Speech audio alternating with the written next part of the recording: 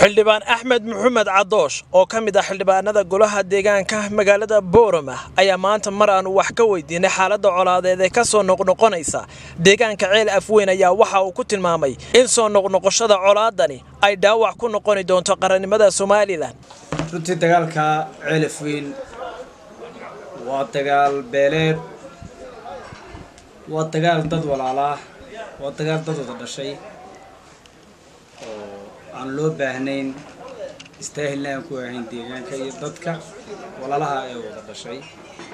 Innaa lilaahi ku dhimatay samirigan allah inaga sugo intii ku dhaawacantayna allah caafiyo laakiin maalin walba dagaalka ceel afweyn tacsidiisa iyo ka hadalka ceelka dagaalka ceel afweyn iyo dadka walaalaha maaha in lagu jiro. Maaha in lagu jiro dagaalka ceel afweynna ma odhan karna waxba laga qaban kari waayo qabiilo way dagaalamaan dawlado way dagaalamaan dadna waa dagaalamaan. Laakiin dagaalkani waa dagaal soo noqnoqday bishii waxbaa ku jira halkaa. Dalka dawlad baa ka jirta. Dalku dal foodaa laba qabiil qori ma qaadan karaan laba qofna qori ma qaadan karaan. Anigu waxaa qabaa waxaan wax kala duwan baan qabaa. Ay dadku ka hadlayaan wax ka duwan baan qabaa anigu. Waxaan qabaa. Innagoo intan ka tamar yar innagoo dowladnimadeenu dowladnimada maanta aynu haysanno ay ka dacibsanto ay ka yar tahay ayaan dagaalkaa celaf weyn aanu soo noqnoqon jirin. Iyadoo maantaynu dowlad nahay iyadooynu qaran nahay iyadooynu cudud iyo awood leeyahay. Dagaalkii celaf weyn baa la soo afjari kari waayey. Ama dagaal laba bilood udhexeey la soo afjari kari waayey. Maaha wax la dhegaysan kara maaha dowladnimadeena daciif ku tahay dagaal soo noqnoqdo qabiilnimo.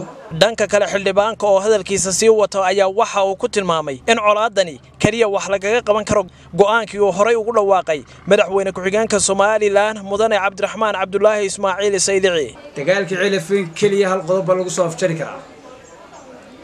Waa qodobkii madaxweyne ku-xigeenku uu ka sheegay jiidda.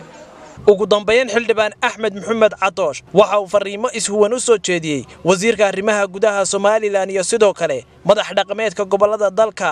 Wasiirka daakhiligu waxay waa ninka ay saaran tahay mas'uuliyaddan isagu amnigu uu soo afjari kari waayey ama uu qaban kari waayeyna waxaynu ka dhagaysan karayna maaha. Wasiir. Wasiirkii daakhiligaa amniga somalilan oo dhan bay mas'uuliyadday kaa saaran tahay. Intaa imigaad joogtana intaasoo dhacdaa dhacday iska horimaad baa dhacay. Waa inaad tallaabo dawladeed ka qaado dadkan iyo deegaankan iyo ummaddan waxaan soo noqnoqonaya cidda ka dambaysa. Ummadda somalilan iyo gobollada ay kow ka tahay gobolka awdal gobolka awdal